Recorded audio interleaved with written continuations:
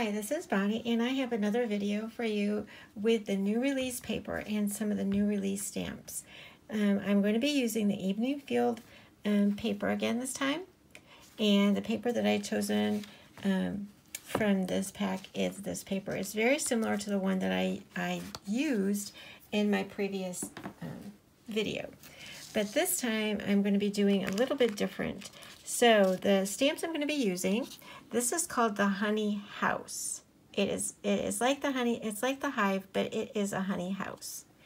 And um, we also have a hot air balloon, and this is called Acorn Balloon. And then we did have a new set of dancing bees this time. Super, super cute. And another sentiment and this one's called Three Things. And one of the um, tips I can give you is if you like this, um, like say you just like this section right here, you can cut these apart and use them um, individually if you want to. Um, I've seen the design team do that, but my suggestion is I would want to have um, one that is complete and then one I could cut apart. So I would probably buy a second one um, so that I'd be able to do that. But anyway, what it says is magic lives in the little things. Wonder can be found in the ordinary things, and kindness can be brought to anything. So I think it's really a cool sentiment. So I'm to go ahead and get set up, and we'll get stamping. Okay, so I have all of my uh, papers placed on my um, I want to call them, I guess some people call them carrier sheets, but whatever you want to call them on here so I knew where I wanted to stamp so that everything would fit on here. So the first thing I'm going to do is the focal stamp, focus, focal, whatever. And that one is the honey house. And it is quite large. I didn't measure any of these, but this one is quite large. I think, well, I know that I have also made a video of all of the stamps and the measurements somewhat so you can always check back with that too. This paper is um, just under six by six. So just to give you an idea of the size of the card. And I did ink up my ink pads. Woohoo! And I am using um, VersaFine Clair Nocturne. And so we're going to get a really good, I'm hoping,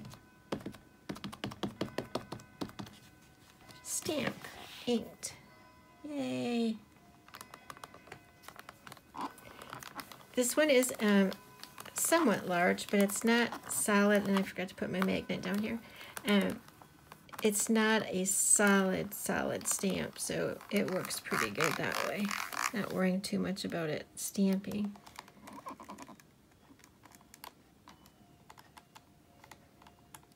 As long as my paper doesn't move.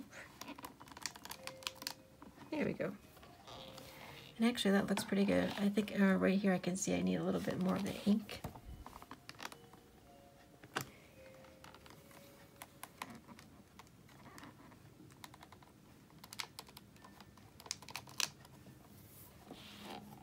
That worked pretty good. I'm going to put my magnet back on and give it another little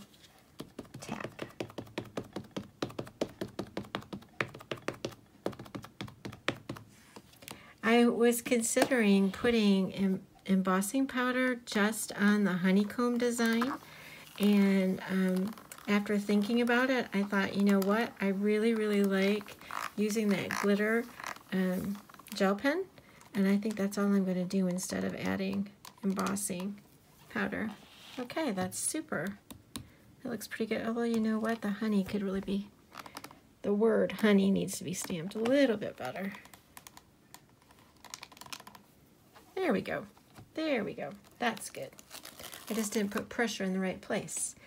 Okay, so the next largest stamp, I think I'm going to try to make sure I get that sentiment on right.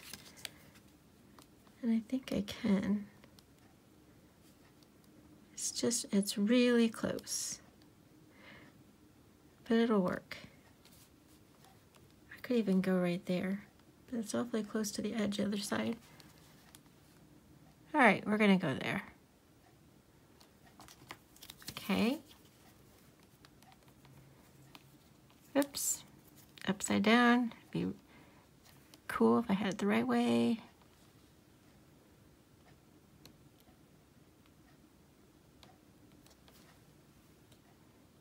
All right, I think I've got that right.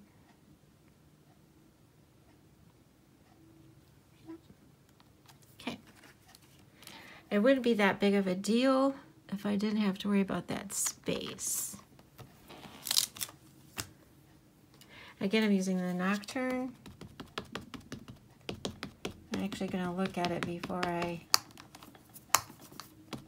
stamp it. See if that's going to hit in between. I think so. Okay.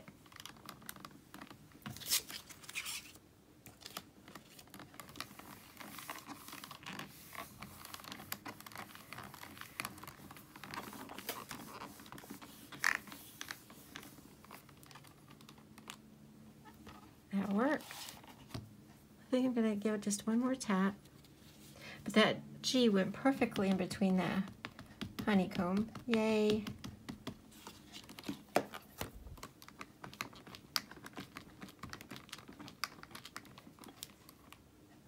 Okay, super. Set that over there. Now I want to get the acorn balloon up above.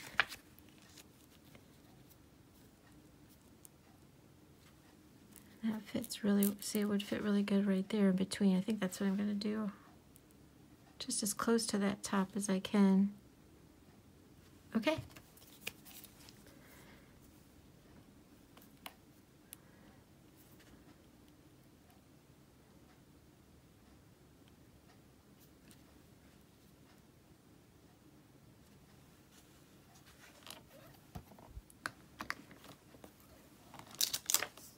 Again, I'm using Nocturne. This one could also be um, done in a brown and be really pretty too, because the bottom of this is an acorn cap. So it could have been done in a brown.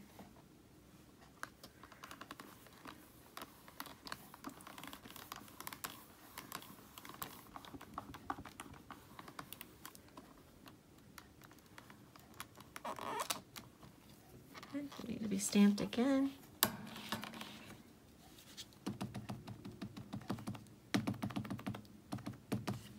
I think as I'm looking at this, I'm going to pull out um, an old fairy hug stamp. I'm going to pull out some clouds. We have a small cloud set that would work really good in this scene, I think. There we go. Okay.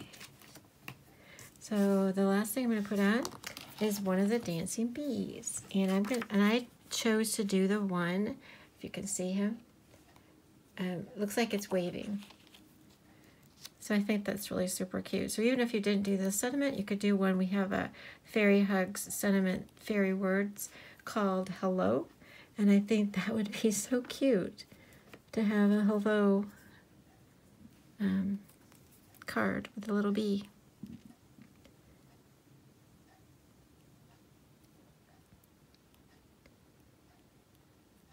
Okay, so it looks like the little bee is walking and saying hello. Wicked Nocturne.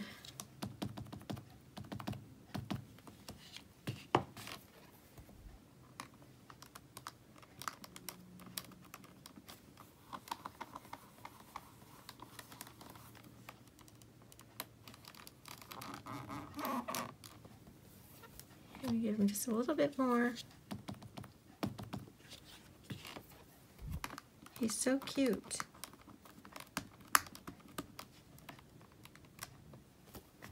So look at look how nice that acorn balloon looks and a sweet little bee. Super cute. All right, so the one other thing I wanted to do is use the bee from the trumpet um, from the trumpet vine. If you remember, I already did a video with that.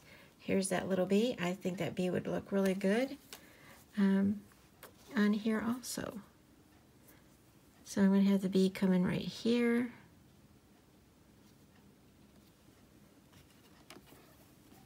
Take off my little dancing bee.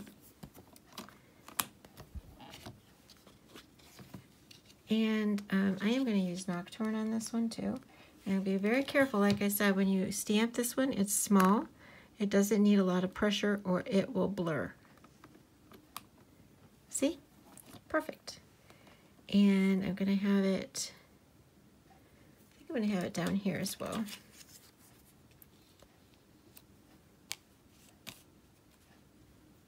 He's coming away from his little honey house. Because the dancing bees have little bees for friends. Okay.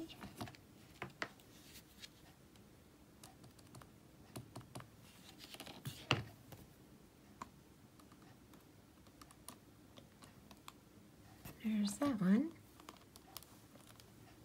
I'm not really sure if I want another one. I'm just looking a minute at the picture to see if I want another bee on there I think we could have one up here.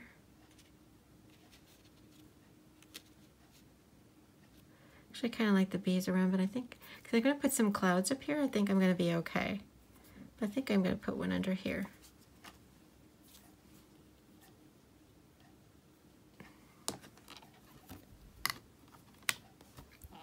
Remember, these bees are um, set up in a way where they could be carrying something too which would be super cute. Like they could be hanging on to something. All right. We've got our bees. We are stamped. I'm just going to find those clouds and I'll be right back. Okay, so I found my clouds and the clouds are, um, actually the number is 61, so it's an earlier um, stamp. So what I did is I used some of my washi tape and I'm going to use that as a mask. And I'm going to attach, because I wanted the clouds to look like they were behind the balloon. And I am going to use a morning mist instead, because I want it to look more like it's in the background. Making sure that I'm going to be covering up that washi tape.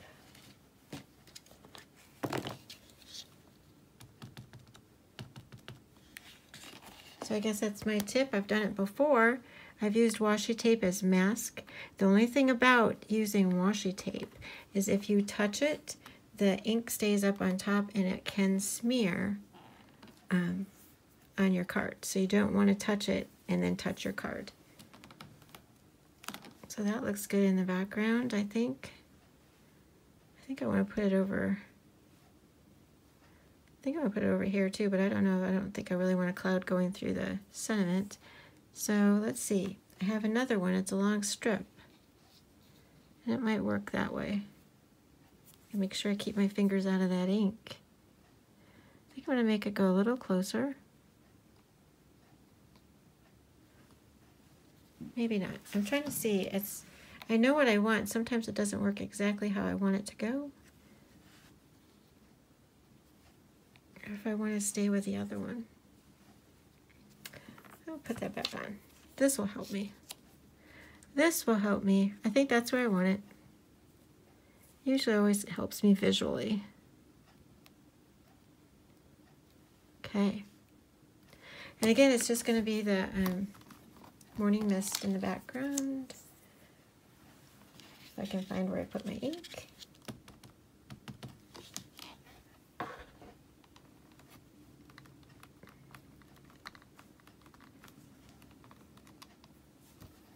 That looks good. I think I might put one up closer to the top.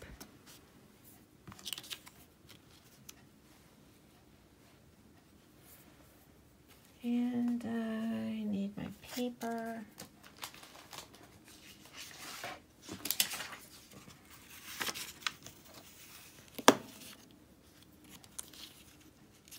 But I'm going to take this off because it's still got that ink and sure as anything I want to spread that around.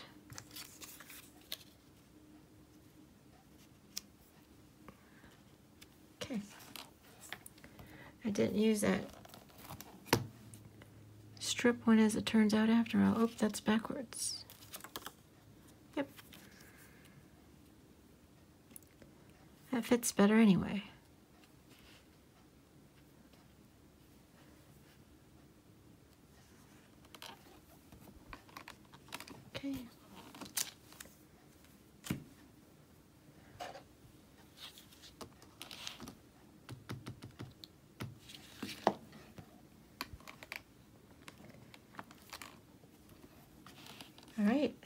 Looks pretty good. Just see what else we need to do to finish that off. Okay, so for this part of the video, I'm going to be doing again some coloring um, to give you some ideas of what you can do to add to this, although it looks perfectly fine the way it is, um, other than if you want to anchor a little bit of this at the bottom. So we'll do that first. So if you want to keep it the way it is, um, again, I'm just, in this case, I'm going to just use a pencil. This is the 70 French Gray and I'm doing the darkest, like the shadows, um, closest to the um, to this part of the honey house. That's really kind of like, you can call it a bee keep as well. So, and I also want to make it look like it's sort of like a way for the bee to kind of walk to it. So I'll also put a little bit underneath him as well.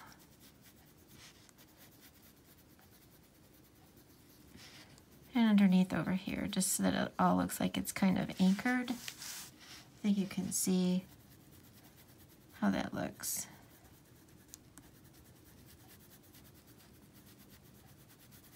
It could also be green. You could add green to this, would be great.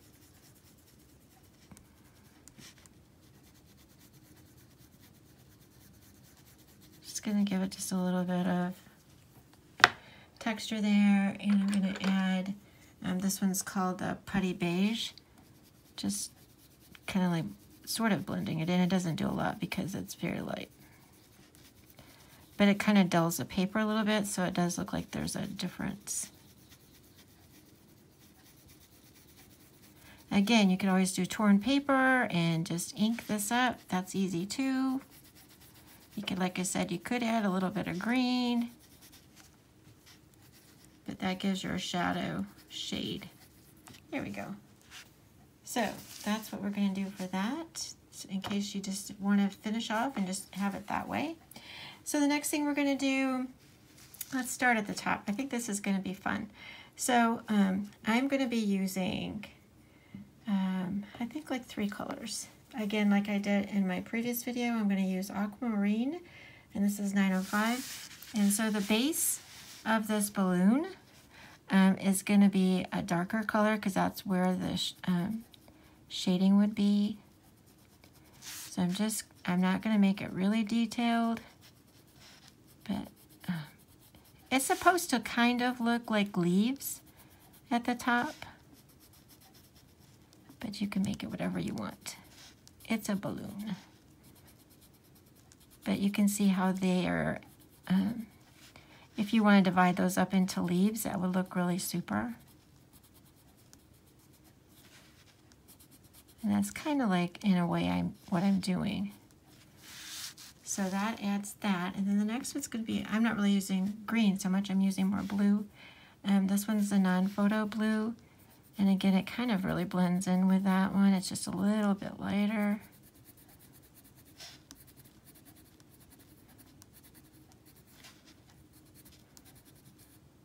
Just makes it extend it a little bit.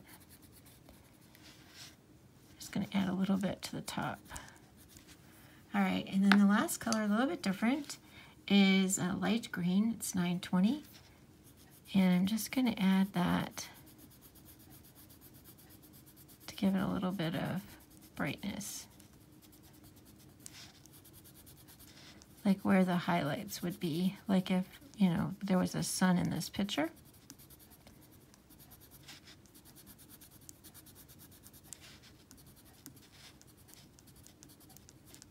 So you can kind of see I didn't totally color that in. I left some of the background color to it. And that's how that would look. And because we're already up here, I'm going to go ahead and do the clouds. And I am just going to use the non-photo blue for the bottom part where the artist actually um, actually did the shading. And I'm just coloring over that shading. And it's going to show up more here because it's lighter in the paper.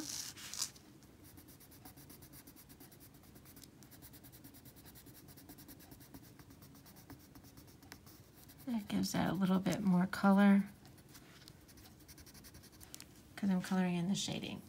So um, I am going to blend in a little bit with the powder blue. Just add a little bit more blue, but I'm going to try to keep a lot of the white up on the top so we have the contrast. Again, this is very simple coloring just to add a little bit of color to your card. So then the clouds would be done, okay? And um, so I am going to go ahead and add um, the darker blue aquamarine to the wings, the bottom.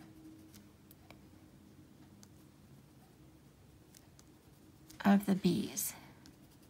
And the darker color um, shows up a little bit more in the darker color of the paper. And I'm also going to do the dancing bee. Add a little bit of the darker blue. And then I'm going to um, blend that in with the photo blue. Again, pretty much the same color, just a little bit lighter. Okay. It's hard to see some of those little ones. I'll put that closer so you can see it. I'll pull it up.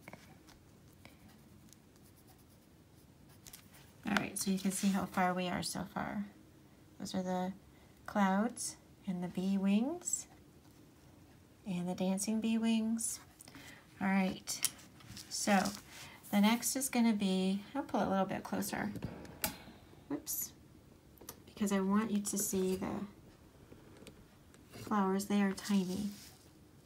And I'm just gonna use a pink. And it's 9.29, and I'm just gonna give it a little bit of color.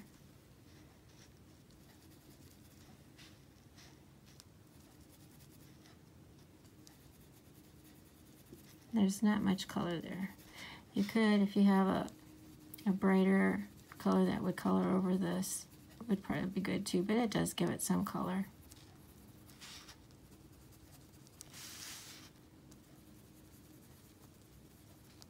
Again, you can always test it. If you test out light, you can always add darker to it. It's easier to start out light and add the darker. So, you got the color on that. And then I decided because I wanted a little bit of a contrast between the bee keep and the honey, I am going to use, um, this is pumpkin orange. And I'm just going to do a little bit of shading just to give it a little bit of contrast, although you can see it almost matches the bottom part of that, the bee keep, if you want to call it that. It's called the honey house.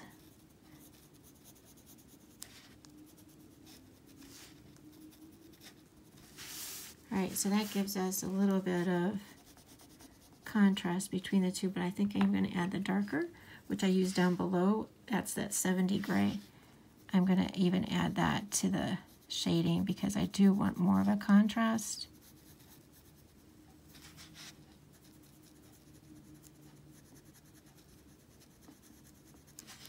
I think you can see how that gives it a contrast. Oops, I see I forgot a flower. We'll add a little bit of pink.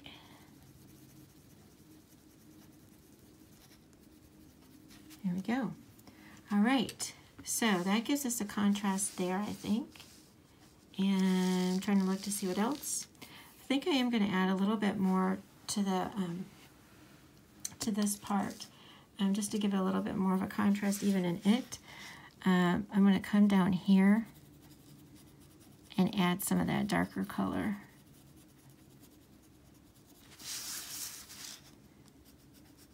And just bring that up just a little bit in some of those places. Now, it'll look really different if you're doing this on white paper um, because I actually purposefully stamped where I knew that it would be more of a golden color. But if you were to stamp this on white paper, you'd be able, if you like to color, this will be a really nice stamp to color in. Um, that just gives us a little bit of our shading on that, I think. All right, I'll come up from here. Yeah, that gives us a little bit more of a interest in that. Um, like I said, I'd probably color more if I did it on white paper. Um, let's put that up just a little bit. So that's going to be the coloring part. Um, what I like to do, as you know, is I also like to do the, the gold um, sparkle pin, and I also like to do the, um, I like to add the glitter to the bees wings. Or I like to add glitter to the wings, period. Doesn't matter if they're bees or fairies. Oh, that's got a lot, so we'll go down here. So I'm just going to quickly add that to the bee wings. And then I'll do the gold gel pen. This really doesn't take that long. I mean, I'm doing this in real time, so you can see it doesn't take super long. All right, so all the wings are painted. Again, I used, um, I'll just show you again because I did show it in another video, but it's a Folk Art Extreme Glitter. And it works really well for wings. All right, now for my gold gel pen. So I'm going to start at the top and go down so I don't put my hand in it. On the um, balloon, you will notice there are little dots, uh, circles. And um, I'm going to fill each one of those in with this gel pen. Oops. Be nice if I could hold my hand steady, but it's hard to see with the camera in my way. But that's what I would do there. You can see, there we go. You can see that. And then even, because I just like to, I probably will add a little bit to this acorn because I like the highlights. Like you'll be able to see there's a lot of highlights there. But I'm just lightly dotting it don't want to totally take away, away from the design, but I did want to add a little bit of gold. And then, um, as I told you, okay, the bee comes next. The bee's body, gold, sparkle. And then let's do the hexagons. This is going to take a little bit more time so I'm going to just color in a few for you, then I'll color the rest off. I am leaving a little bit of black on the edges so you can still see the design. If you, I think you can see what I mean. I'll show it closer.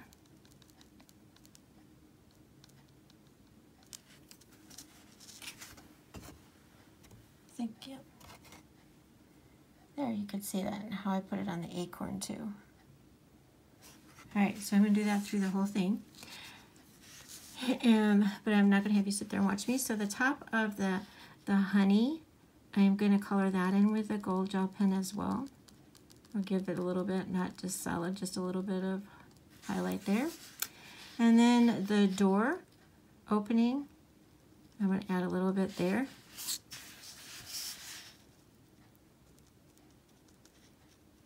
And take your time. I'm doing a little bit so you don't have to sit there and wait so much for me. And then the highlight that you can see down here in the honey, I'm going to go ahead and do that with a gold gel pen as well.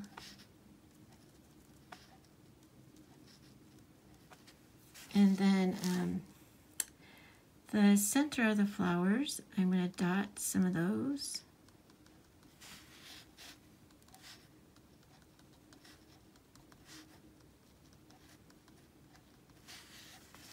And I can see I'm going to color the leaves green. And I didn't do that, but I will. So, and then our dancing bee will also get his little body